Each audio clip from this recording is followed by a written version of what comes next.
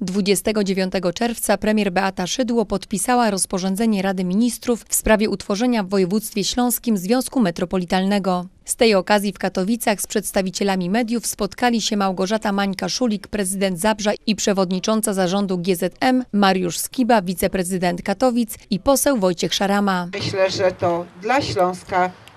wyjątkowe wydarzenie, wyjątkowy dokument, aczkolwiek jestem przekonana, że my na Śląsku w Zagłębiu wykorzystamy to w sposób godny, a nie kolejny piękny dzień,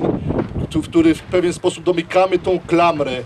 i już bardzo blisko jesteśmy tego, aby ta metropolia rozpoczęła swoje, można tak powiedzieć, praktyczne funkcjonowanie. Metropolia, która pozwoli nam na to, żeby jeszcze bardziej zaistnieć na mapie świata, która będzie miała, można powiedzieć, takie realne przełożenie na potrzeby mieszkańców. To ten aspekt finansowy z podatków, prawie 300 milionów złotych, które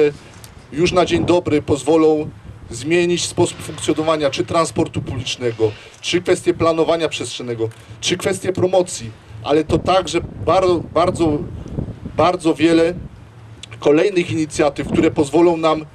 tutaj na Śląsku być jeszcze bardziej dumnymi z, z naszych osiągnięć. Rozporządzenie zostało podpisane. Teraz są dwa miesiące na to, aby odbyło się zgromadzenie członków metropolii, a więc prezydenci, burmistrzowie, e, wójtowie tych miast, które zdecydowały się na udział w metropolii, wybiorą e, w ciągu tych dwóch miesięcy, powinni wybrać zarząd, powinni rozpocząć pracę nad e, strategią e, zagospodarowania przestrzennego metropolii, oczywiście statut metropolii, a więc od samego początku można powiedzieć, że zaczyna się ciężka praca. No, te wakacje dla tych, którzy będą chcieli aktywnie uczestniczyć w tworzeniu metropolii i w wyborze ich władz, no to te wakacje będą rzeczywiście bardzo krótkie. Ja mam nadzieję, że współpracując wspólnie z samorządami, e, e, tutaj mm, wyrobimy sobie wspólny pogląd na to, w jaki sposób powinien e, funkcjonować zarząd tej metropolii dokonamy e,